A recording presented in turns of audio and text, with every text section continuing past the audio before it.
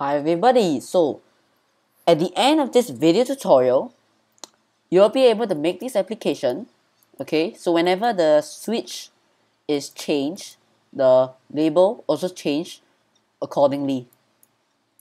Of course, you will need to write a bit of code to make this work, but it's okay, it's just a few lines of code. And I also broken it into bite-sized steps for easy digestion. So without further ado, let's get right into it. So right now, I am going to head in into Xcode and I am, I am going to create a new Xcode project. I'm going to make this a single view application and I'll call this iOS features practice. Make sure your language is Swift and devices is iPhone. And I'm going to create it in my desktop. Now, head into your main storyboard where you set up the layout of your app. Click on this to change your device to iPhone SE. Next, click on this and change to iPhone SE as well. Okay. Now you are ready to go. On the filter, in UI switch and you have a switch. Drag this into your view controller. This will be very familiar to you if you are using an iPhone.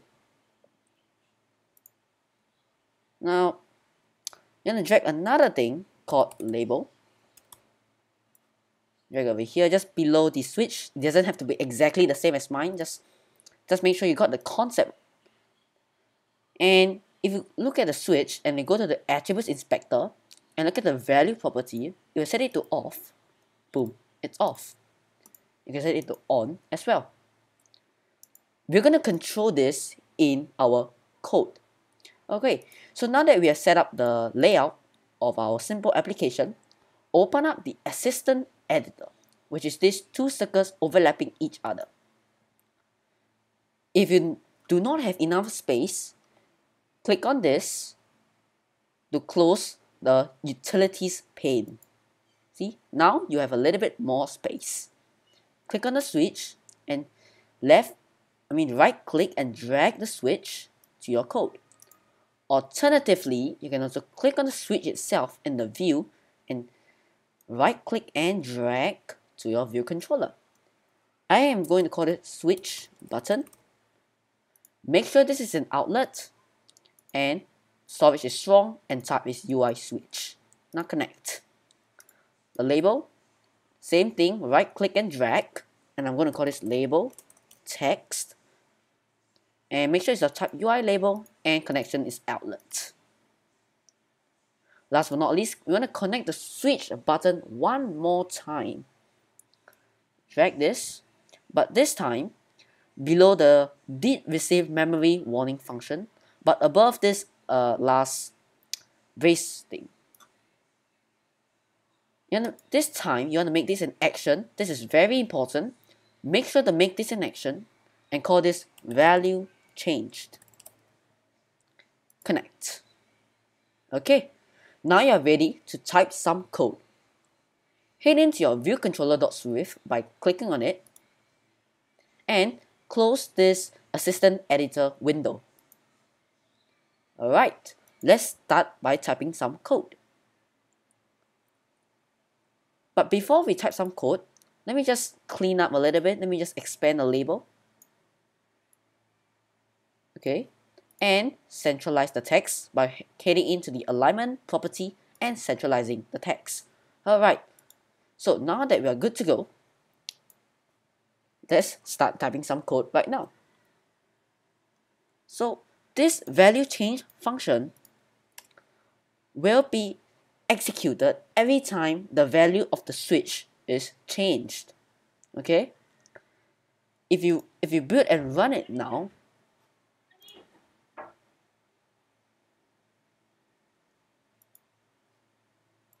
okay?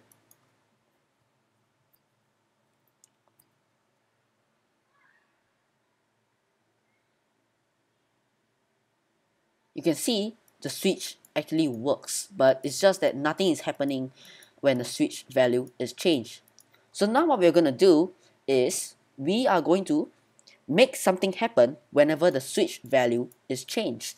So I'm going to quit the simulator. And so what I'm going to do in this function is I'm going to print switch button dot is on. So this switch button is a reference to this, which is a reference to the switch in our main.storyboard.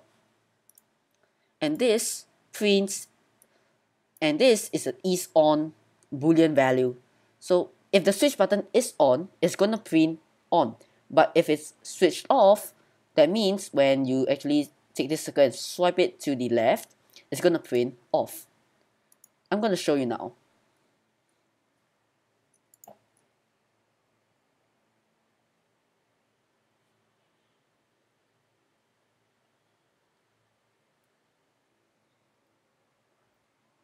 So when I off this, look at it, it prints false because it's no longer switched on. Now if I turn it back on, it becomes true because I have already uh, switched it back on. So you can play around with this. Still pretty boring, nothing happening too much. So now what we're going to do, learning using what we have learned, we're going to do this. So we're going to say, so what I'm going to do is I'm going to type if switch button, remember, switch button is a reference to the main.storyboard, the switch in the main.storyboard, dot is on. Remember when we print the switch button dot is on, and when the switch button is on, then it returns true. So I'm to set this to equal to true, the brace, then click enter, and Xcode will help me auto complete this brace over here. So if the switch button is on, equals to true, that means the switch button is on, then let's print the switch button is on. Okay, now let's discuss what does this code does. So if the switch button is on, is equal to true, so if the switch button is actually set uh, to have the green thing beside it. So if if it's this, if it's currently this value, if it's currently on, then it the debugger will print the switch button is on, like how we have printed the true and false. Then we're to add one more thing, else print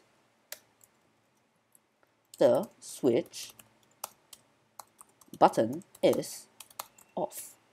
Okay, so now what's happening? So else, that means if this is not is not true, so if this switch button is set to the off value, okay, it will print this switch button is off in this debugger console over here. Now let's try.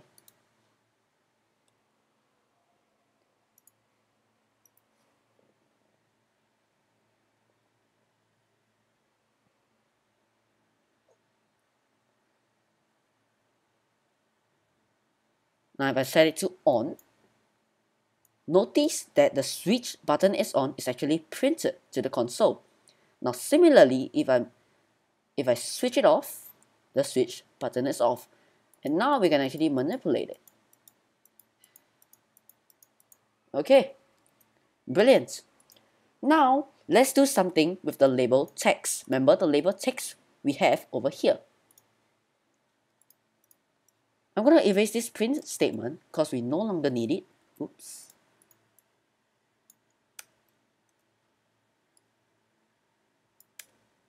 Okay. So what I'm going to do is to make a reference to the label text. Then dot. So as you can see, there's a whole lot of properties of for the label text. But the main thing that I want is the dot text property because label.text has a lot of properties. You can change the font.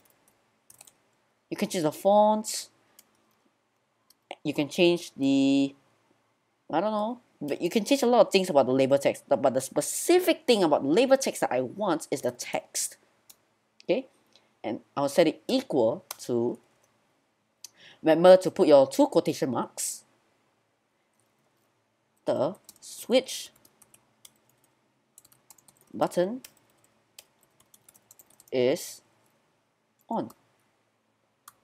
Now, similarly, if the switch button is switched off, then we want to change the label dot text. Same thing, reference to the label text. Then we want a specific text about that label. I want to set it equal to the switch button is off. Similar to what we have printed in the debugger console.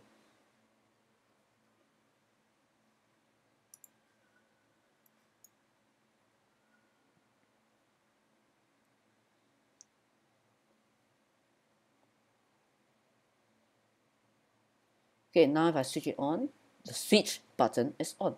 I switch it off, the switch button is off. So you can keep playing around with it. Now, I just want to, want to show you one more thing that's like one, one bug in our application. So, so if you notice, there's actually one bug in our application.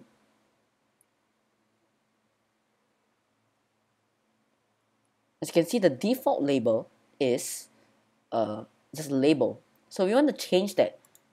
And we can change that by heading to the main storyboard.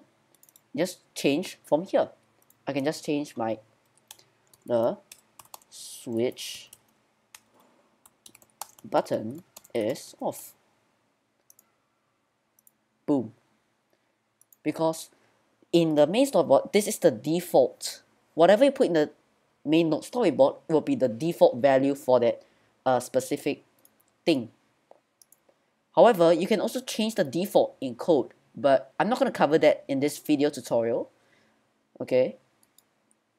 Okay, so now to summarize of what we have learned, before I summarize what we have learned, I'm going to run it one more time and show you our application.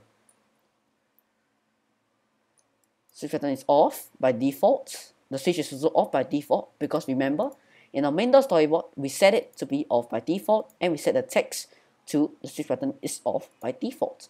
But now if I on, off, on, off, on, off. Okay, so this is what our application does.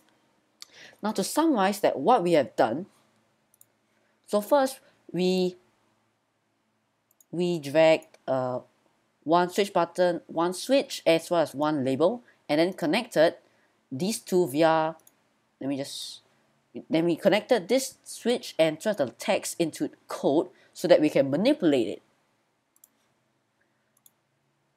So now we have uh, two IB outlets as well as one IB action. So remember one IB action is a uh, what is a function that is actually executed whenever the value the whenever the switch button is changed. And then we went on to check whether the new value of the switch button is on. And if it's on, then we set it to be, we change the label text to the switch button is on. However, if the new value of the switch button is not on, then we just set it to the switch button is off. Simple as that. Okay? So I hope you have learned a lot today. Congratulations on making it to the end of this video tutorial. And this is Benn. Peace out.